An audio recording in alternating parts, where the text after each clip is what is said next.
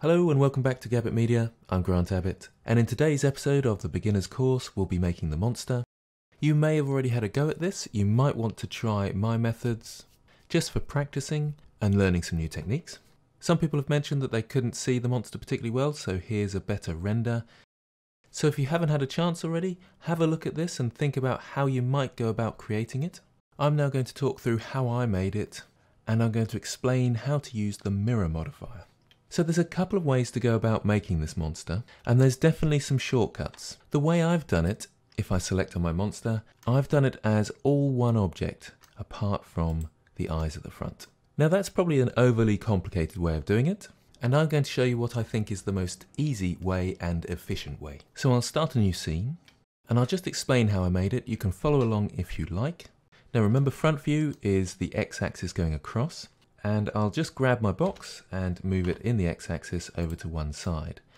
And that can be its feet, and I can duplicate this with Shift D and grab in the z-axis, just press Z once you've pressed Shift D, and then around there, scale it in, and that's its sort of forearm.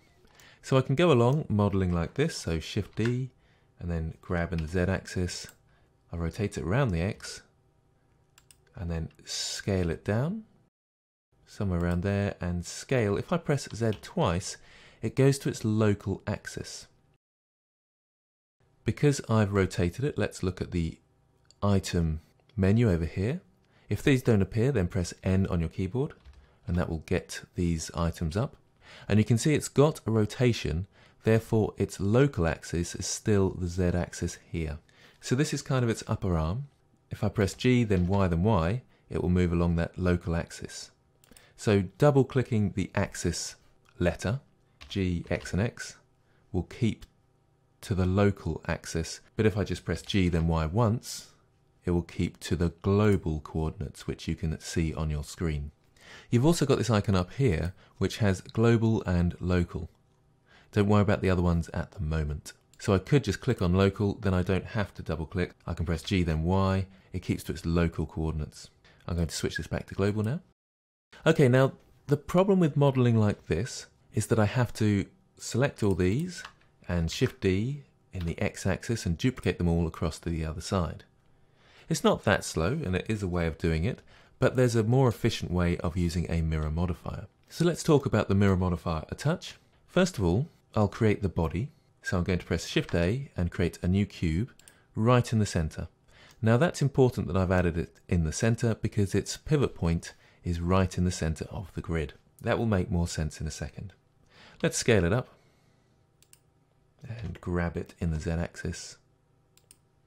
Come around to the side and we'll rotate it in the x to somewhere around there. Now I'm going to take a moment to explain the mirror tool. So let's go into edit mode first. Tab into edit mode. And if I mirror this object now, it will mirror around the center point or the pivot point as it's known and it will create a whole new cube because we have a whole cube here.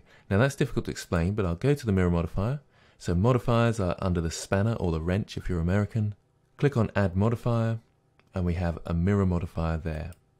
Now as I've said, it's just created a whole new cube because it's mirroring the whole thing along the x-axis. So if I press G now, that will grab all my vertices because I have vertices selected, pull them out and you can see that other cube and it's being mirrored around the pivot point in the middle. So what we actually want to do, we want to cut the cube in half so that we've got a mirrored half. So I'm going to do that over here. So Control R and double left click and cut it in half. And I want to delete this side so that when they join back together, we can be modeling on one side and it will update on the other. So I'll go to face mode for this with three on my numpad, or you can select faces up here. Select these faces, move around a touch to get them all delete faces. Can you see how that updated on the other side? Now if I select all with A, it's only selecting one side because this is just a duplicate. Let's grab that in the x-axis and pull them together. And I want it somewhere around there, but can you notice how they're overlapping each other? I don't want that to happen. I want them to actually sort of stick together or clip together. So there's clipping over here. And now when I press G then X, it squeezes together. And then if I left click now and press G to grab in the X, they actually stay together. I'm going to do that once more because it can get confusing, the mirror modifier.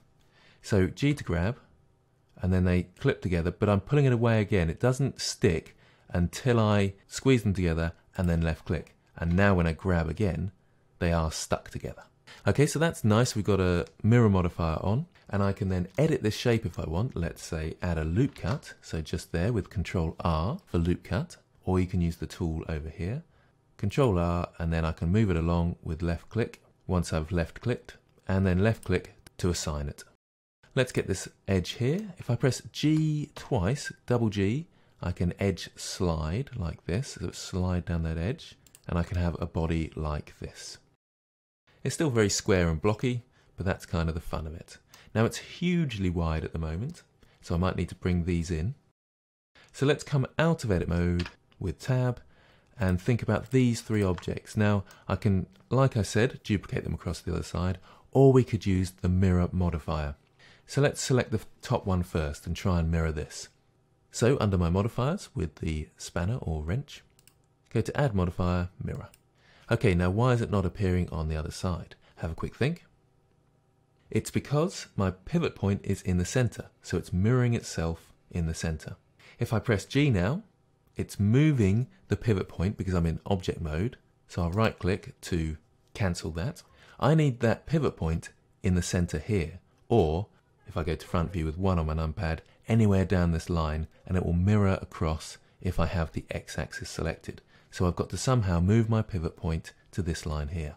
Well, my 3D cursor is in the middle at the moment, so if I were to tell my pivot point to move to my 3D cursor, that would mirror across to the other side. Let's quickly do that. So under Object this time, there's Set Origin. And Origin to 3D cursor will move it to the middle, and there I have my mirrored object on the other side. So let's do again with the other one. But this time my 3D cursor is not going to be in the middle. So shift right click to move my 3D cursor and I want to move my pivot point into the center again. There's a simple way. Shift S brings up this nice menu here and we have cursor to world origin. There's all sorts of other options as well which can be really handy, but cursor to world origin is the most commonly used. And then we can go up to object, set origin, origin to 3D cursor. And then add our mirror modifier. So in the modifier panel, mirror, and there it is on the other side. So I'll quickly do the same for the last one. And there we go. Now if I want to update anything on this side, let's say go into edit mode and grab this face and pull it forward, so he's got some weird looking feet, it copies it over to the other side. Now there's one other thing I want to mention, let's go back into object mode, and there's apply over here. If I press apply, it now means that I can go into this object this side and just affect this half on its own and it's not updating on the other side. So if any point you want to apply your mirror and make changes to the other side of your object, then you can apply it over here. But I'll undo those steps. Generally, you might as well keep it on if it's a symmetrical object so that it always updates on the other side. So you don't need to click apply. So if I'm making the shoulder, for example, I can press Shift D now in object mode and bring this up to the top here. I've got my other half working as well. And now you can see there's some sort of issue. It's moved across to the other side. So have a think why that's happening. Let's go to front view. That might give you a hint. Can you see my pivot point is now off center? It's because I grabbed it in object mode. So to put it back, I can easily undo or I can get the location of the X just here and change that to zero. Now I know that the pivot point is right in the center along the X axis. What I need to do if I don't want to move the pivot point is go into edit mode and select all my mesh and grab it and move it around. Select all my mesh with A and grab it and move it around. So then it keeps its mirror and it keeps its symmetry. Let's scale that up a bit, somewhere around there. Do a loop cut in the middle here, Control R, and I've got my loop cut tool, left click and left click again to set it and then I can move this edge because I'm in edge mode, G to grab along the X axis and then I've got a sort of shoulder. Now I rotated mine so select all with A so I'm selecting all the edges into side view with 3 on the numpad.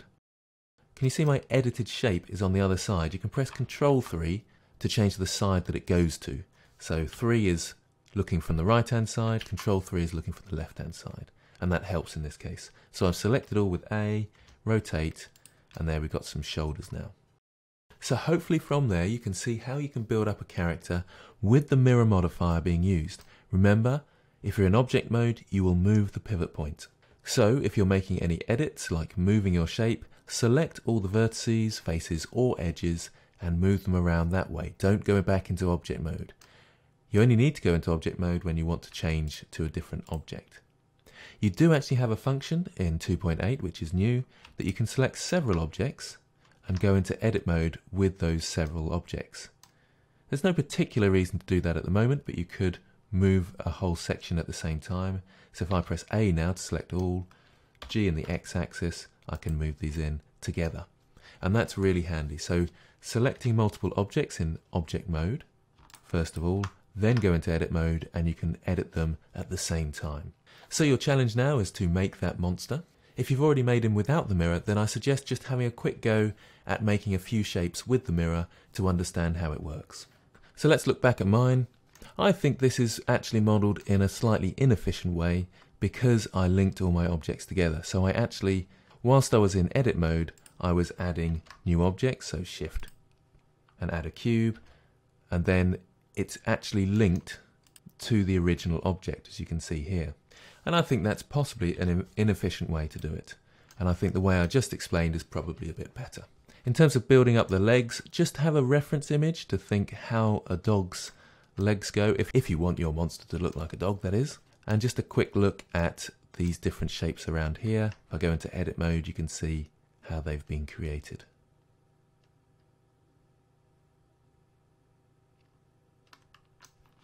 So let's go back into object mode. Lastly, there's the street, which is fairly straightforward. There's just a big cube there and the pavement there. The lampposts are a little bit tougher. If I press full stop on my numpad, I'll zoom into that. And if I go to edit mode, you can see the shape. I separated them there so I could separate this texture out. If I go to textured mode at the moment, Z will get you this radial menu for going to your rendered modes, or you can obviously go up here. And I'm going to choose render. And you can see that I changed the texture of that particular face. So I needed a face in there, so I've added that loop cut around there. So I'll very quickly make that. Shift right click here.